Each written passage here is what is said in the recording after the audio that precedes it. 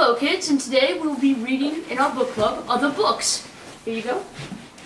Here you go. Oh, I always have wanted to meet Hendrix.